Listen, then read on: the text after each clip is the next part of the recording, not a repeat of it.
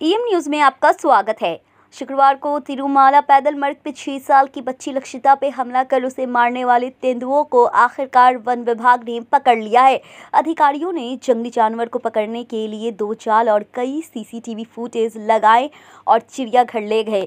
देखिए आज की खास रिपोर्ट में।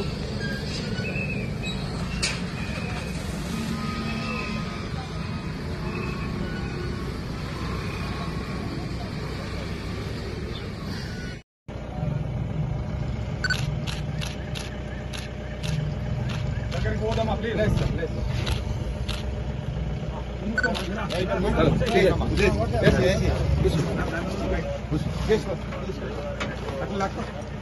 అది కూడా ఇంతే ఉండదు బోన్ అదే బోన్ సార్. అక్కడ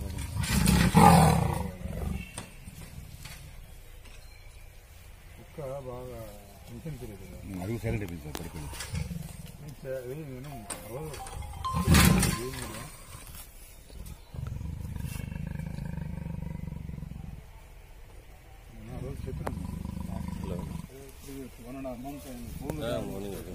చెప్పదు